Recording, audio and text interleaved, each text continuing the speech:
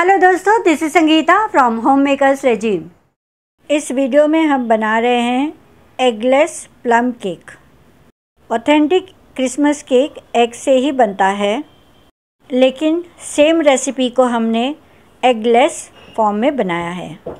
किसी को अगर एग का एलर्जी है या एग खाना पसंद नहीं है तो वो एगलेस क्रिसमस प्लम केक बना सकता है।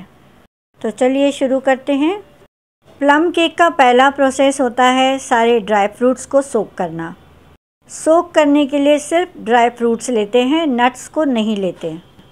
नट्स को बाद में यूज़ करेंगे क्रंची टेक्सचर के लिए। How to soak the dry fruits? इस पे मैंने एक अलग वीडियो बनाया है, जिसका लिंक इस वीडियो के डिस्क्रिप्शन बॉक्स में दे दूँगी, वहाँ से आप चेक कर लीजिएगा।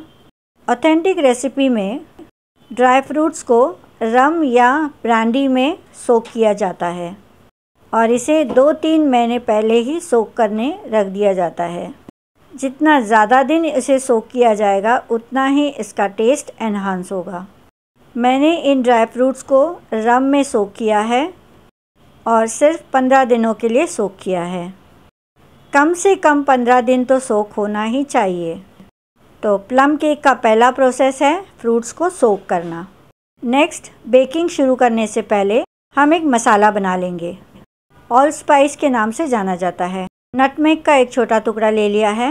एक टीस्पून ब्लैक पेपर छोटे साइज़ के तीन चार स्टिक्स हमने सिनेमन के ले लिए हैं। एक स्टार एनिस और एक स्पून हमने ले लिया है क्लव्स इसमें ड्राई जिंजर भी डाला जाता है। ड्राई जिंजर का क्वांटिटी ज़्यादा डाला जाता है केक में, इसीलिए मैंने मसाले में नहीं डाला।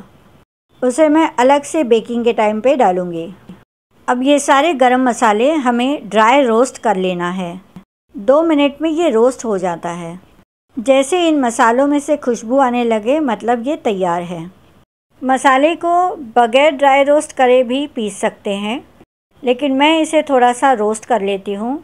रोस्ट करने से मसाले में जो तेल है, वो निकलता है। उससे इसका टेस्ट और भी इन्हांस हो जाता है।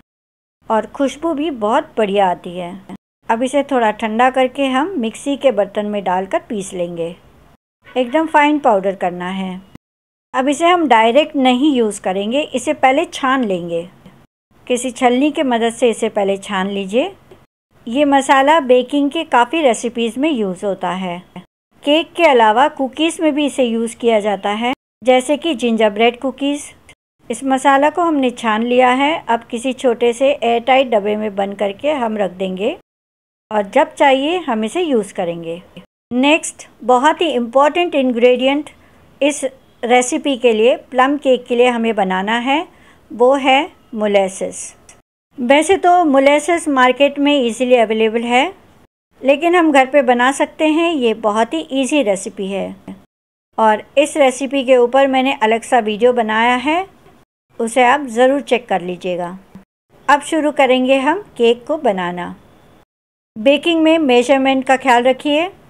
हमने यहाँ पर 300 ग्राम सोक्ड ड्राई फ्रूट्स ले लिया है। थोड़ा कम ज़्यादा आप अपने हिसाब से ले सकते हैं। जितना ज़्यादा होगा केक उतना ही टेस्टी बनता है। ये केक ड्राई फ्रूट्स के लिए ही मशहूर है। ये रम में सोक ड्राई फ्रूट्स है। रम पूरी तरह से सोक हो चुका है। अगर रम सोक नहीं हुआ है तो आप रम को छान के ले लीजिए। छाना हुआ रम हम बाद में यूज़ कर सकते हैं। आप देखेंगे ये फ्रूट्स कितना सॉफ्ट हो चुका है। सिर्फ़ पंद्रह दिन ही मैंने इसे सोक किया है। आज मैं कम क्वांटिटी का बना रही हूँ। इसे डायरेक्टली यूज़ करूँगी। अगर आप ज़्यादा क्वांटिटी का बना रहे हैं तो ड्राई फ्रूट से रम को छान लेंगे और थोड़ा सा मैदा उसमें डस्ट करेंगे और फिर इसे केक का बैटर में मिक्स करेंगे, ताकि केक के बॉटम में ये संक ना हो जाए। नेक्स्ट हम बेकिंग टिन तैयार कर लेंगे। मैंने सेवन इंच का ब्रेड टिन ले लिया है। आप राउंड टिन में भी इसे बेक कर सकते हैं। पार्चमेंट पेपर या बेकिंग पेपर से इसे हम कवर कर लेंगे। नेक्स्ट अवन को हम प्रीहीट के लिए लगा देंगे और अब केक का बैटर बनाना शुरू करेंगे। एक मिक्सिंग बोल में 60 ग्राम अमूल बटर ले लिया है। ये सॉल्टेड बटर है। इस केक में मक्खन और तेल दोनों यूज़ करेंगे। बटर को हमें अच्छे से बीट करना है। दो मिनट लगेंगे इसे स्मूथ और फ्लफ़ी होने में। आप देखेंगे इसका कलर भी लाइट हो चुका है। नेक्स्ट इसमें ऐड करेंगे ब्राउन शुगर जो मैंने 60 ग्राम ले लिया है। ब्राउन शुगर को हम बटर के साथ मिक्स कर लेंगे। ब्राउन शुगर को अगर आपने मिक्सी से पीस लिया तो ये जल्दी मिक्स होगा डिज़ोल्व जल्दी हो जाएगा। अब इसमें ऐड करेंगे 80 gram condensed milk condensed milk egg का सब्सटीट्यूट है। हम एगलेस बना रहे हैं तो कंडेंस मिल्क को डाल रहे हैं इसमें। फिर से एक बार मिक्स कर लेंगे। अब ऐड करेंगे one fourth cup of oil vegetable oil है ये. अप्रॉक्स 50 ग्राम स्ट्रॉन्ग स्मेल या टेस्ट का ऑयल ना ले. इसे भी हम अच्छे से मिक्स कर लेंगे. शुगर डिज़ोल्व होने तक हमें इसे मिक्स करना है. एक टीस्पून वैनिला एसेंस डालेंगे. एक टीस्पून ऑरेंज का जेस्ट और एक टीस्पून लेमन का जेस्ट ऑरेंज का जेस्ट अगर नहीं है तो लेमन का जेस्ट थोड़ा ज़्यादा डालिएगा। टोटल दो टीस्पून है जेस्ट का। अब ऐड करेंगे मोलेसिस। ये मैंने 50 ग्राम ले लिया है। सारे इंग्रेडिएंट के मेज़रमेंट आप डिस्क्रिप्शन बॉक्स में चेक कर सकते हैं। प्लम केक बहुत मीठा नहीं होता। ये थोड़ा खट्टा, कड़वा, सारे टेस्ट इसमें मिक्स होते हैं। सारे जो इंग्रेडिएंट इस केक को बनने में लगता है, ये सारे गर्म है और बॉडी में हीट तैयार करता है। इसीलिए इसे ठंडियों में विंटर में बनाया जाता है और क्रिसमस विंटर में आता है। अब हम इसमें वन फोर्थ टीस्पून सॉल्ट डालेंगे, नमक। ये ऑप्शनल है, आप इसे अवॉइड कर सकते हैं। लेकिन थोड़ा सा नमक डालने से इसका टेस्ट और भी इन्हांस हो जाता है। अब ये सारे इंग्रेडिएंट को एक बार फिर से हम फेंट लेंगे। इसे किसी भी तरह मिक्स कर सकते हैं। कोई कट एंड फोल्ड मेथड से मिक्स करने की ज़रूरत नहीं है। ये प्लम केक सॉफ्ट बनता है, लेकिन दूसरे केक की तरह फ्लफ़ी नहीं बनता, फूलता नहीं है। वेट इंग्रेडिएंट हमारा तैयार है। अब हम इसमें ड्राई इंग्रेडिएंट ऐड करेंगे। ड्राई इंग्रेडिएंट में मैंने यहाँ पर 180 ग्राम मैदा ले लिया है। 1.5 कप्स। इन्हें छान कर ज़रूर लीजिएगा। डायरेक्ट वेट इंग्रेडिएंट में मिक्स ना करें। अब हम इसमें डालेंगे एक चम्मच बेकिंग सोडा और डेढ़ चम्मच, one and half spoon baking powder इसमें डालेंगे। हमने जो ऑल स्पाइस मसाला बनाया है, उसमें से हम एक टेबल स्पून इसमें डालेंगे। आप देख सकते हैं, इस तरह से हमें भर कर एक टेबल स्पून डालना है। इस मसाले में हमने ड्राई जिंजर नहीं मिक्स किया था। तो ड्राई जिंजर का पाउडर हम ऊपर से डालेंगे, जो मैंने एक चम्मच, वन टीस्पून डाला है। अब ये सारे ड्राई इंग्रेडिएंट को हम छान लेंगे। छानने से ये अच्छे से मिक्स होता है और लम्स भी नहीं आते। ड्राई और वेट इंग्रेडिएंट को हमें मिक्स कर लेना है। इस वक्त थोड़ा ड्राई लगेगा, लेकिन लिक्विड हम अभी नहीं डालेंगे। इस वक्त हम ड्राई फ्रूट्स इसमें ऐड कर देंगे। जो हमने रम में सोक किया था। आप इसे फ्रूट जूस में भी सोक कर सकते हैं। ये आपका चॉइस है। अब इसे मैं डायरेक्टली इस बैटर में डालकर मिक्स करूँगी। अब इसे मिक्स करते वक्त हमें अंदाज़ आएगा कि इसमें और कितना लिक्विड इंग्रेडिएंट की ज़रूरत है। ये बैटर कितना ड्राई है। बैटर तो थोड़ा गाढ़ा ही होता है, लेकिन फ्लोई कंसिस्टेंसी का होना चाहिए। इस केक में हम दूध का इस्तेमाल नहीं करते। यहाँ पर आप जूस का इस्तेमाल कर सकते हैं, कोई भी फ्रूट जूस ले सकते हैं। बेस्ट चॉइस होगा कि आप इसमें लिकर ही डालें।